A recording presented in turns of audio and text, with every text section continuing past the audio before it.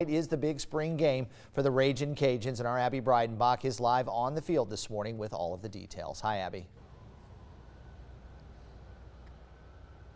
Hey Dave, good morning. I'm live here at Cajun Field where tonight they will be playing, the football team will be playing the spring football game. It's a big game, going to be a lot of fun. And here joining us to talk about it, we have Connor Whalen. Good morning, Connor. Good morning. Good morning. Th thank you so much for having us today.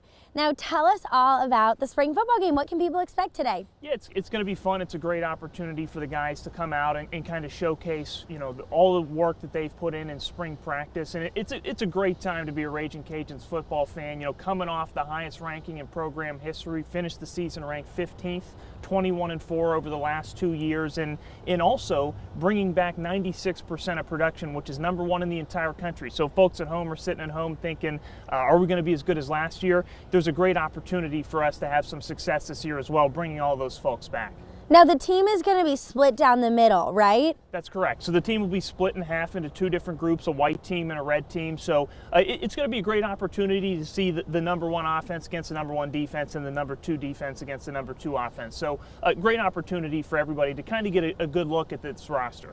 Okay, sounds like it's going to be a lot of fun, and people can start coming out at 6 o'clock, but kickoff's at 7, right? Kickoff, kickoff is at 7, and admission is free tonight, so come on out. Okay, oh my gosh, you guys, that's rare. Admission's free, so you got to come out.